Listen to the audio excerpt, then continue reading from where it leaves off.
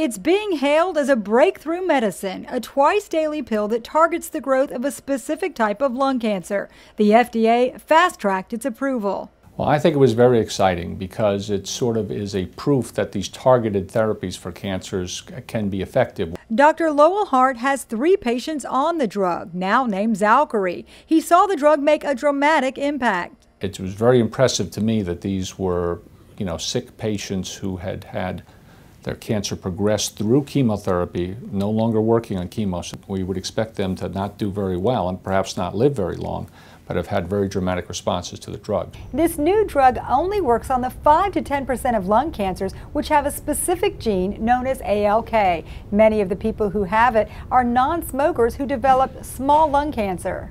All three of my patients that have this mutation are women and are non-smokers. This new drug blocks the protein produced by the ALK gene. It's a targeted therapy which researchers believe is the future of controlling or curing cancer. The FDA also approved a test to screen for this particular gene. I am personally checking everybody and I think you know, my partners are in general checking everybody too, and the tests are now commercially available. Xalkori comes with a high price tag, upwards of $100,000 a year, on par with traditional chemo. Drug maker Pfizer is expected to work with insurance companies to limit out-of-pocket expenses, important in making the drug available to those who need it. I've seen that very few times in my career of, you know, over 25 years. I said, this drug is the real thing. For Lee Memorial Health System, I'm Amy Osher.